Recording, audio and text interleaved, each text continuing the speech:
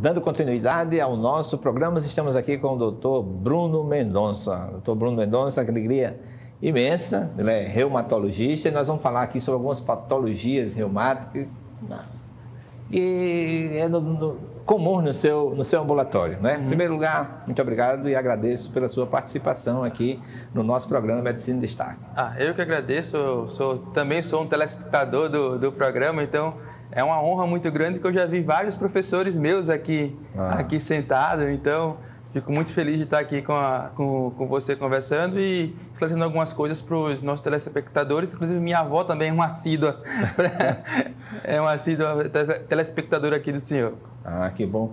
É, o que é, nos faz, assim, nos aproxima bastante é porque também você é, exerce suas atividades lá no Hospital Vida, né? Exato. Eu, sou, eu exerço, comecei esse ano lá no, no Hospital Vida e Fico muito feliz lá, o pessoal muito gente boa, então é um serviço que eu gosto bastante. O professor Miguel já pegou no pé lá? Não, ainda não. muito bem. Então, como reumatologista, né, a gente é comum no nosso programa procurar saber o, o, caminho do. Porque às vezes a gente conhece o médico, a gente sabe de onde vem, para onde veio, etc. Alagoano? Isso, alagoano, nascido e criado aqui em Maceió, formei aqui também na Universidade Estadual de Ciências da Saúde de Alagoas, nossa minha querida Uncisal, oh. e fui fazer a especialização fora, fazer a especialização em São Paulo. Fiquei um tempo e já com a cabeça decidida que ia voltar e voltei. O voltar era mais oportunidades aqui ou a saudade? Tudo, tudo. Acho que aqui é um, tem um campo muito bom. É, só a questão da afinidade com a cidade, a família toda daqui, não tinha é, só era só eu e minha esposa em São Paulo, então por isso que a gente estava decidido já em voltar mesmo. É, a gente tem aquela frase máxima, né? Ser feliz é, é, fazer aquilo que gosta ao lado de quem ama. De quem a gente né? ama, e exato. Sintonia com Deus também.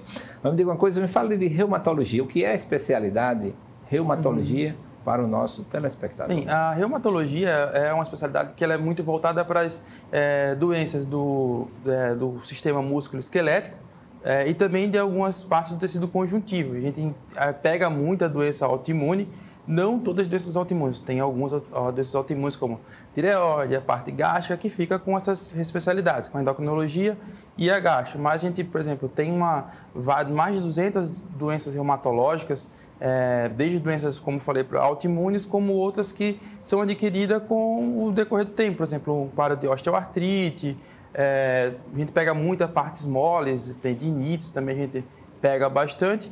E também a gente pega muita doença inflamatória, como as vasculites, também a reumatologia que também contempla essas, essas doenças. Então, é uma, uma parte muito grande aqui que a gente pega da, dessa, da medicina, a reumatologia engloba bastante.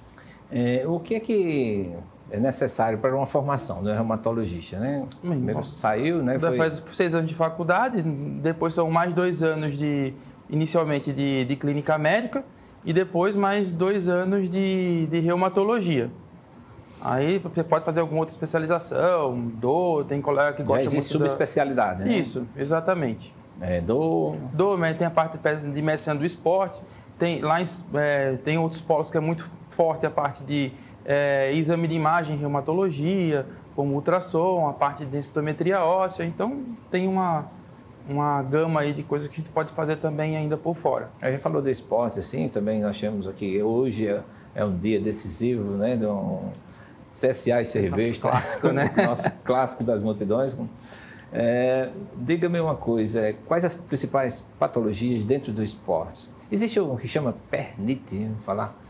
Não, é mais para ortopedia. É mais para ortopedia, o pessoal da ortopedia. Ortopedia. Ah. Aí a gente liga, a gente vai medicina do esporte, o pessoal faz a especialização e geralmente fica mais com aquelas lesões que são decorrentes de, por exemplo, corrida, essas mais lesões de partes moles. Certo. Essa é uma partezinha da, da reumatologia. A grande parte da reumatologia mesmo é mais, a gente fica mais com as partes de, de algumas doenças autoimunes, também algumas doenças mais de dor crônica, como é, a fibromialgia, a osteoartrite, o lúpus, que é, que é uma doença que pode englobar várias partes do nosso organismo, artrite reumatoide, então são várias. Esse daí é mais o nosso carro-chefe. É, eu caminho junto com o nosso telespectador. Eu me coloco uhum. muito na situação do telespectador, no sentido de obter da sua pessoa, assim, é, o que é uma doença autoimune? A doença autoimune é uma doença que o nosso organismo é, faz uma, ele atinge a nós, a nós mesmos. Ele, ah, essa, uma parte do nosso organismo ele acha que é, que é estranho. estranho e acaba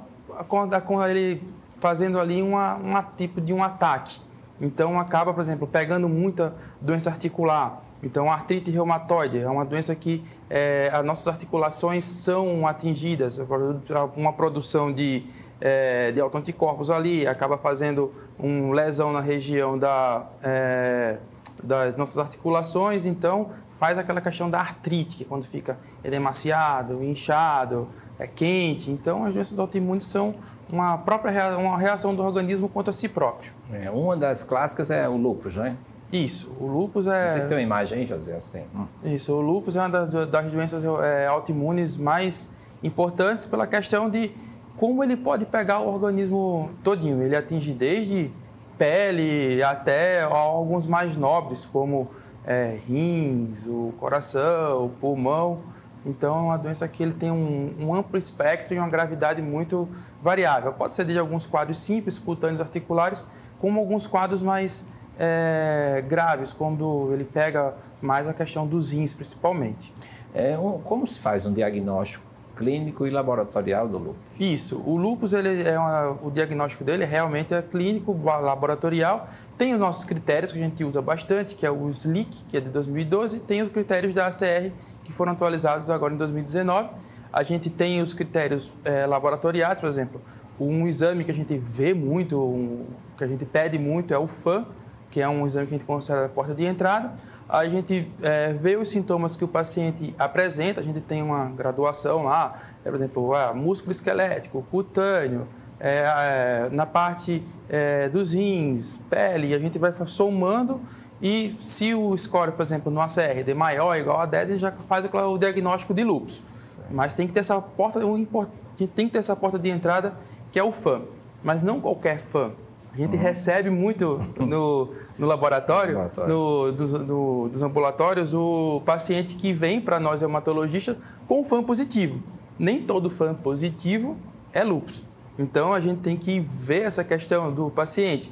A idade do paciente está numa idade é, ali mais comum, que a gente, por exemplo, é 20, 40 anos, é a idade que mais acomete o, o paciente. É, ver o sexo do paciente nessa idade de 20, 40 anos é muito mais comum em mulheres pela questão do estrógeno e pela presença do estrógeno e também o valor do fã. Não é qualquer fã pequenininho ali, 1 para 80. É um fã realmente maior e também a gente tem que ver o, o padrão do fã. Aí, o antecedente dele positivo, a gente faz o nosso rastreio ali para dar ou não o diagnóstico de lúpus, porque não pode falar para o paciente, ah, eu acho que você tem lúpus, que é uma doença que vai requerer um tratamento bem é, de perto, pode ser que seja medicamentos, tem que fazer mais rastreio. Então a gente tem que ter cuidado para dar esse diagnóstico, para não falar, é, para não rotular o paciente com uma doença que é, às vezes é bem preocupante em alguns sentidos. É, qual o principal órgão assim a ser atingido pelo lúpus? Geralmente é a pele? O é mais é? comum é a pele. Sei. Meu... Não sei, José, você tem uma, uma foto aí, foi enviado, não sei se chegou. É a pele, sim. A pele, geralmente, ele é ali no início. Acho que é essa aí, né? Isso. Essa imagem daí é uma imagem clássica assim da lesão aguda mais comum do, do lúpus, que é o rush em asa de borboleta. Ah, então é bem característico, pega aqui bem nessa região da face. Então, é, geralmente nossos pacientes, cerca de 90%, eles apresentam um diagnóstico alguma lesão cutânea no início do quadro. A foto é de uma criança, mas é comum em criança ou em qualquer idade? Qualquer idade. Qualquer é mais sexo qualquer é, o sexo, como eu expliquei naquela hora, varia muito com a questão do estrogênio. Para você ter ideia, em crianças a proporção ainda é maior de menina, mas é de duas para uma. No período de 20 a 40 anos, a, a, a questão dos números já é de a proporção é de 12 mulheres para um homem. Sim. E no paciente idoso também essa proporção volta para 2 para 1. Em, em casos assim de, de é autoimune, mas em termos de, de, fisiopatologia tem é estrógeno dependente. Mas assim, que, que caminho? São, é, o lúpus assim, é, são vários caminhos. É doença que é muito interessante, porque são vários caminhos que possam. A fisiopatologia é bem complexa. Tem a questão genética, que é bem importante. Então a gente vê que é, de 5 a 12% de pacientes que têm lúpus tem um parente positivo também, um parente mais próximo positivo Tem a, a gente já identificou, inclusive, vários genes envolvidos na patologia do lúpus. Tem a questão também ambiental, então, luz ultravioleta é uma, é um, é uma coisa que pode ativar o lúpus. O cigarro, que a gente tanto fala, né? que não, mais que não um faz motivo, mais, mais um motivo. Também pode ser, é um fator ali é, da fisiopatologia do lúpus. A questão de infecções virais, o vírus Epstein-Barr também pode é, causar o, essa questão do lúpus. Em de, de etnia. Uhum. A etnia, a etnia, a etnia varia muito na questão é, mais da gravidade, de ah. questão do mais é, a etnia varia mais para essa questão.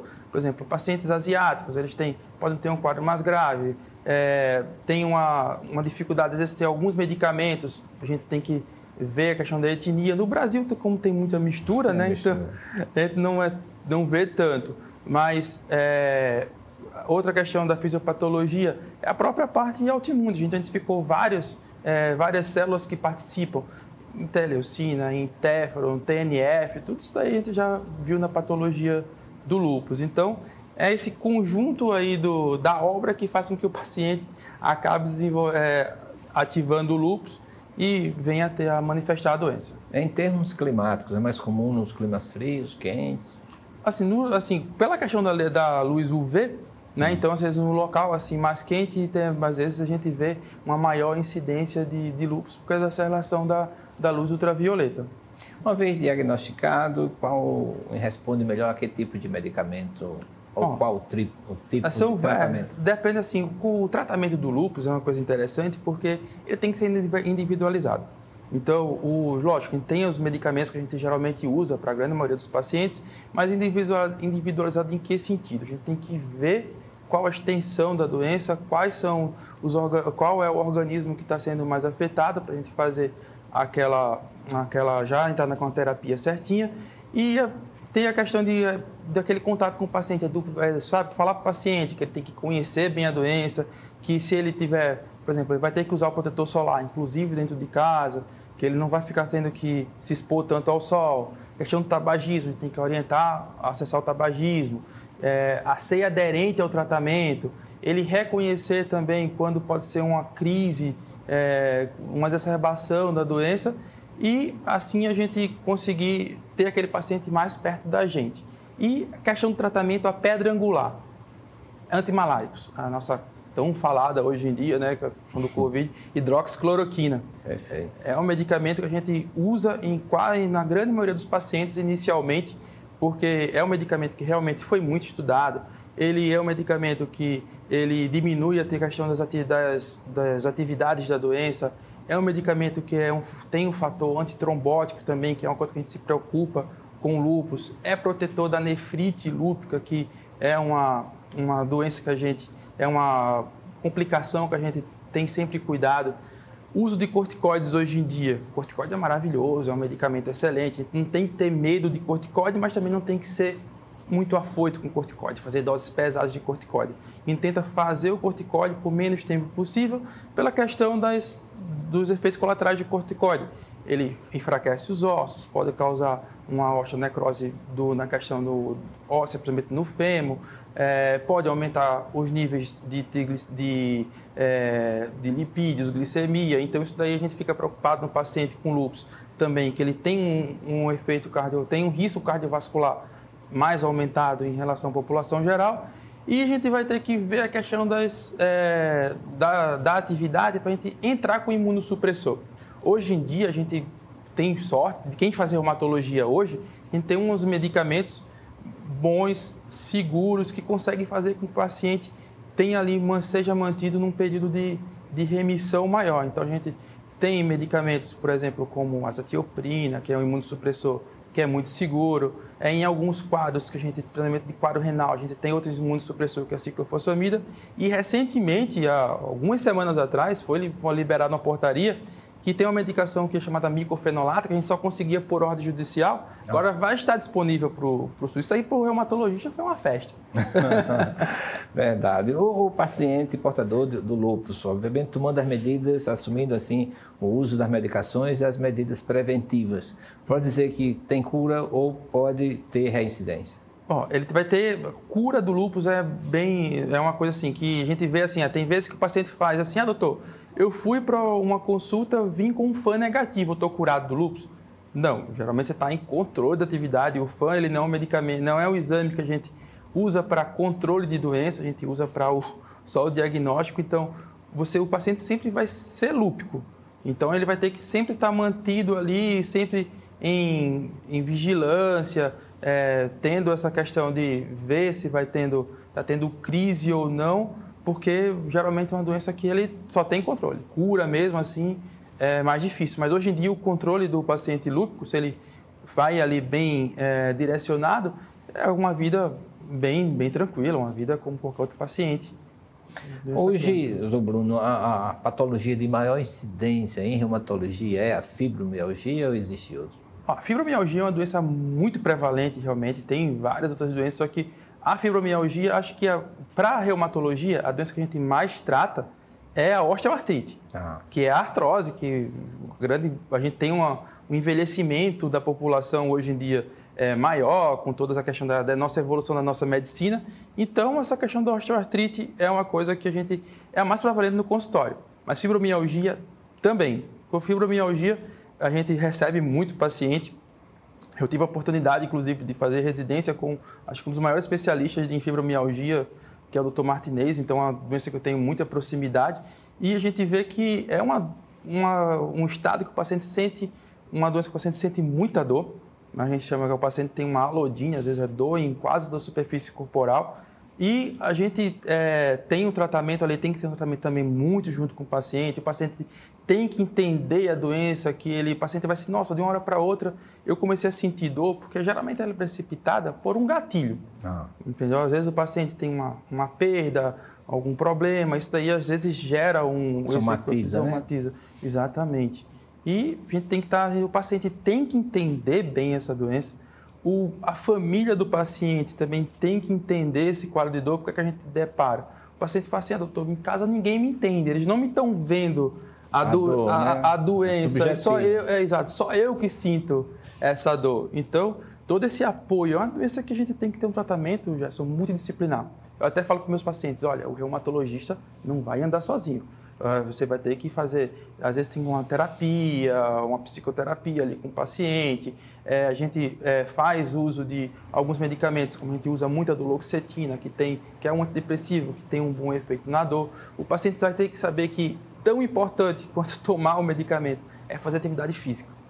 A, o, o, maior, o melhor tratamento para a fibromialgia é atividade física. No começo, o paciente, mas como é que eu vou andar? Que eu estou cheio de dor, não sei o quê. Eu falo, até eu brinco com. Vai fazendo aos poucos. É, eu brinco, até eu brinco com as minhas pacientes, que a grande maioria são do sexo feminino. Até eu é. digo para elas: olha, no começo você vai fazer, você vai no caminho, você vai me xingar, tudo para daquele médico que mandou eu andar, mas depois você vai ver que vai ter um benefício. Então, é uma doença que é muito prevalente hoje em dia, realmente, como você, como você citou. E o final, aqui é mais prevalente hoje são as artralgias, as, as, as, as, as artroses. As artroses, é, que a gente chama, que chama hoje, mais comum chamar de que osteoartrite. começa a aparecer hoje? Varia muito, varia muito essa, porque depende também da questão, é multifatorial.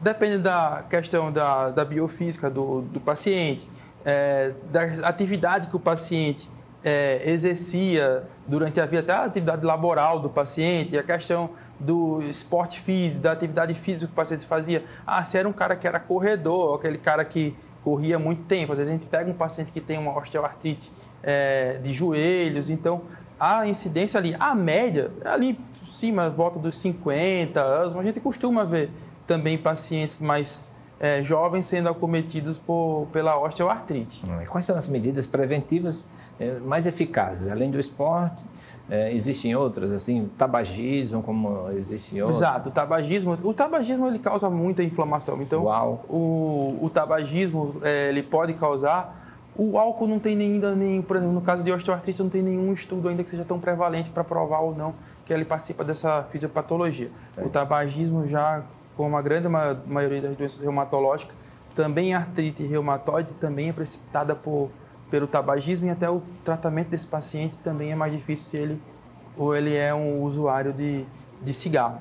Então, É, tem alguma questão de prevenção, é mais ali. É, por exemplo, se corre, usar o sapato correto. É, se o paciente está sobrepeso, também controlar o, o, peso, que também a obesidade também é uma coisa que causa muita inflamação. Então, tudo isso daí. Algumas atividades profissionais também, deve ter aqueles intervalos para um repouso também, não? Exato. Então, tudo isso daí são medidas pequenas, mas que podem ter um grande resultado no futuro.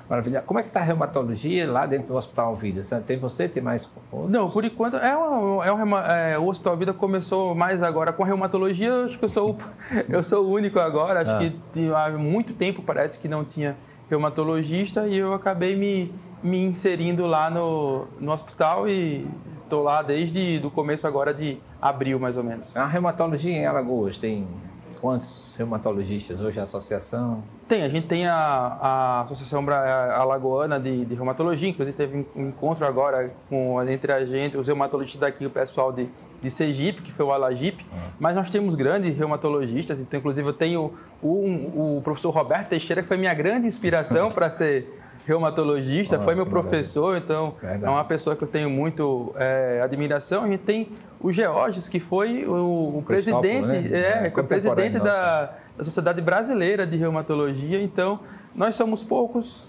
mas somos bons. Ah, com certeza, com absoluta certeza. Esse, essas duas referências que você citou agora é, são maravilhosas.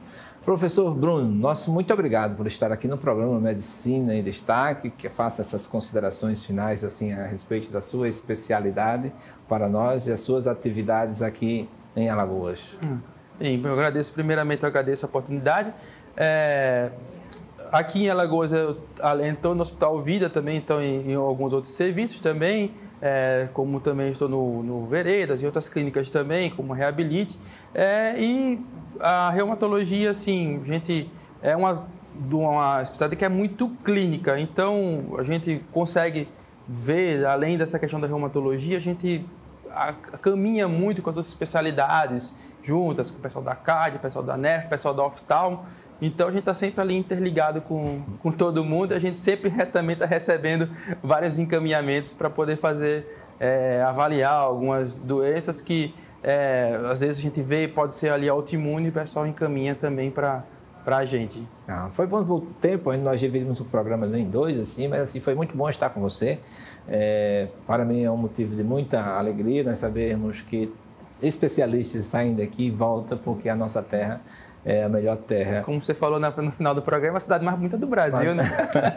é verdade. Obrigado e um abraço lá para o senhor Miguel. Tá certo, Eric uhum. também. E uhum. desejo que você volte outras vezes para que nós possamos fazer um trabalho com outras patologias Sim, da reumatologia. Com certeza. A reumatologia é muito, a reumatologia é muito grande e com certeza teremos muitos assuntos aí para a gente conversar no futuro. Maravilha. E a você, telespectador que esteve conosco, nosso muito obrigado por mais uma vez estar aqui com o nosso programa Medicina em Destaque na TV Mar, canal 525 da NET. Até o próximo programa.